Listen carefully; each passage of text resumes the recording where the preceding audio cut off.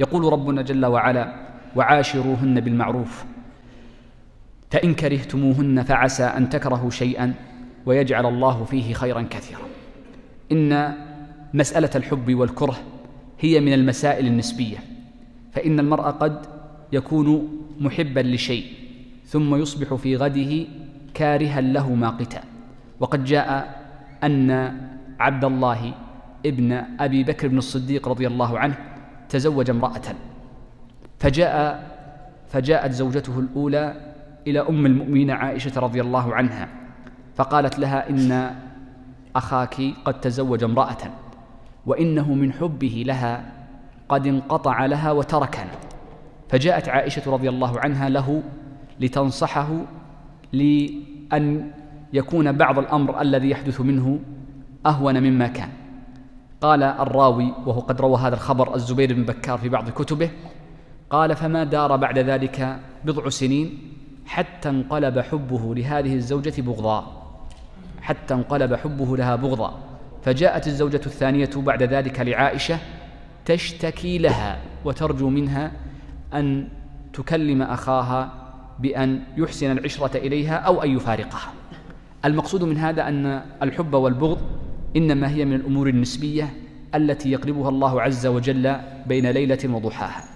كما أن مسألة الحب والبغض من الأمور النسبية باعتبار الأبعاض فقد يكره المرء خلقا ويحب آخر وقد يكون ذلك المرء كارها لهيئة ولكنه يرى الخلق فيحب الخلق. ولذلك فإن المرأة تحبب بنفسها بخلقها وكريم فعلها وحسن تربيتها لأبنائها ولغير ذلك من الأسباب.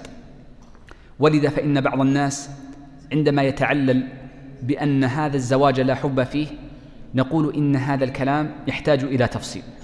وذلك أن الحب لا يلزم أن يكون شرطا لكل بيت كما قال عمر رضي الله عنه لما جاءت لما جاء رجل فسأل امرأته أتحبه هي؟ فسكتت. فناشدها الله عز وجل أن تجيب. فلما ناشدها الله قالت أما وقد نشدتني بالله عز وجل فلا. فجاء ذلك الرجل إلى عمر بن الخطاب رضي الله عنه وأخبره بالقصة. فأتى فأمر عمر رضي الله عنه أن تأتي هذه المرأة ثم علاها بالدرة لما أخبرته بالخبر وقال لها ما معناه؟ وهل بنيت كل البيوت على الحب؟ إنما يتعاشر الناس بالمعروف. فالمقصود من هذا أيها الأكارم أن الله عز وجل بين أن الرجل ربما كره شيئا من أبعاض المرأة من أفعال أو هيئة أو وصف ونحو ذلك لكنه إن نظر إلى الجوانب الأخرى لوجد إحسانا. ولذلك فإن هناك حديثا عظيما يفسر معنى هذه الآية وهذا الحديث لو جعله المرء نبراسا أمام عينيه لانحل كثير من الإشكالات.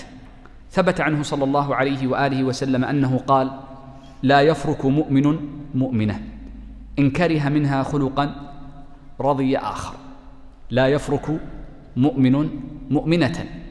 إن كره منها خلقا رضي منها آخر.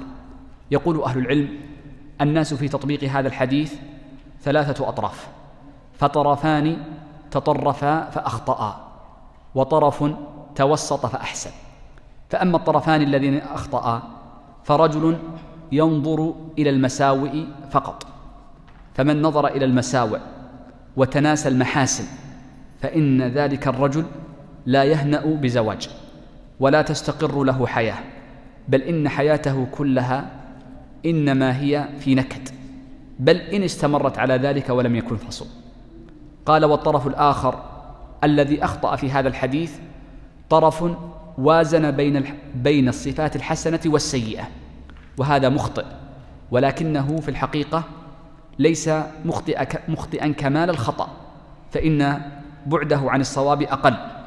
فهذا الرجل إذا وازن بين صفاتها الحسنة بين صفات المرأة الحسنة وصفاتها السيئة فإنه يعاملها حينئذ بالعدل وهذا ليس بالحسن. وأما صفة الكمال فهو الذي ينظر إلى صفات الحسن في, مرأة في, في زوجه وينظر إلى أخلاق الكمال عندها ويثني عليه ويتغافل عن الباقي. فهذا هو أكمل الثلاثة.